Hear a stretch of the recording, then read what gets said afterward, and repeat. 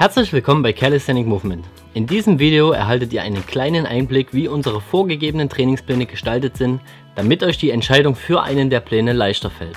Ihr seht hier die Übungen, die im dritten Anfänger-Trainingsplan enthalten sind.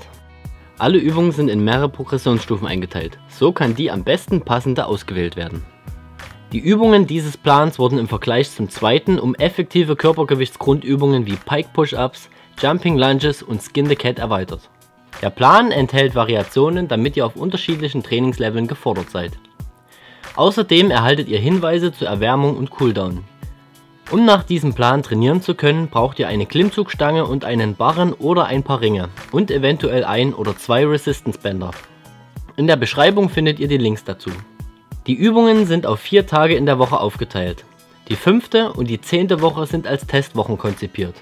Diese sind dafür gedacht, den neuen Leistungsstand zu überprüfen und mit vorherigen Leistungen vergleichen zu können, um die eigene Leistungssteigerung ablesen zu können.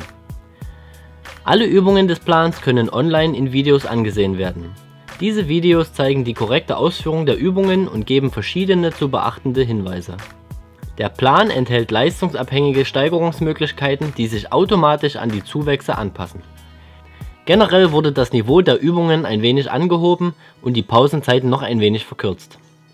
Dieser Plan ist für jeden geeignet, der weniger als 12 Pull-ups, 15 Dips, 20 Push-ups, 20 Burpees und 90 Sekunden Plank schafft. Falls ihr dennoch Fragen habt, könnt ihr euch jederzeit per E-Mail an uns wenden.